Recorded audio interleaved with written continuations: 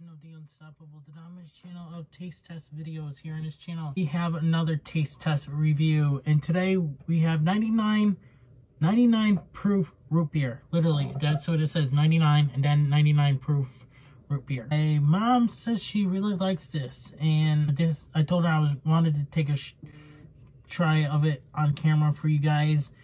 Um, so I never tried it. She just bought it like over the weekend well, on Sunday or Monday. So, but yeah. Cheers to taste test re reviews today. This is its taste.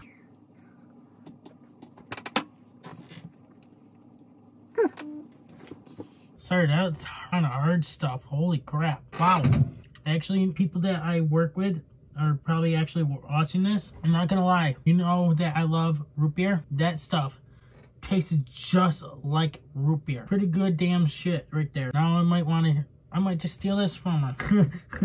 but anyways, guys, it's a 90, 49.5% alcohol slash volume. Damn good liquor. I have another taste test of alcohol and then we'll have two more taste tests to do after that we have two other alcohol beverages we gotta try and that's it we can do another different something else and I know what I'm gonna do the last one so. But anyways guys thank you guys for watching. Please subscribe hit that notification bell so that you guys do not miss an upload here on this channel and I'm out. Hey everybody it's your boy Skiz here and if you don't subscribe to to Buon and the unstoppable denominator then you are a toothy bumfuck pussy ass bitch motherfucker